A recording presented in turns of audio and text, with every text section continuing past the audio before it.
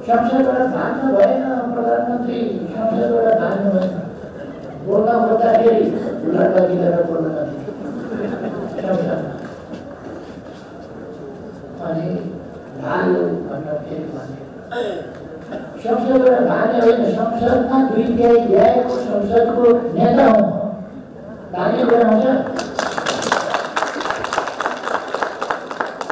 जनताले छानेर नेकपाले छानेर सरकार चलाउन प्रधानमन्त्री बनाएको देशभरिका कार्यकर्ताको प्रभाव विश्वास र स्नेह पाएको संसदबाट निर्वाचित संसदबाट भागे के शब्द प्रधानमन्त्री सधैँ विभिन्न कामले सधैँ पुग्न सक्छ म चाहिँ हामीले म कुनै समय गएर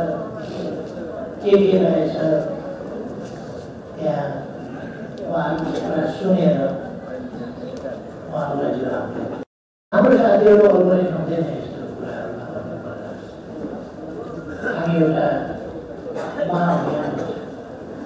र हामी एक अर्कालाई साथ सहयोग आलोचना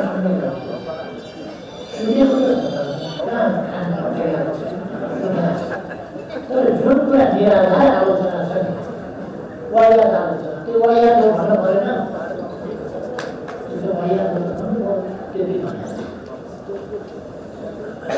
हामी हाम्रा Estamos mal.